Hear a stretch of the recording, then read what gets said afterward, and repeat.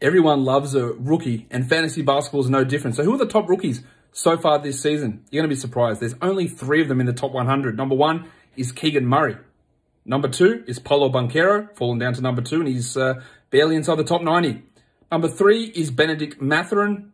Number four, you actually do on a per game basis. It is the Bronco, Jalen Williams. It's only been three games, but he is there. Then it's Jaden Ivey, Jake LaRavia, Dyson Daniels, and Tari Eason. And then, unfortunately, it's Jabari Smith Jr., Jeremy Sochan, Walker Kessler, and amazingly, Andrew Nembhard rounds out the top 12 rookies. It's pretty miserable with the rookies with only those three top 100 players. Remember, on average, you only get four and a half rookies inside the top 100, 120 in a regular fantasy season, so don't expect too much of them.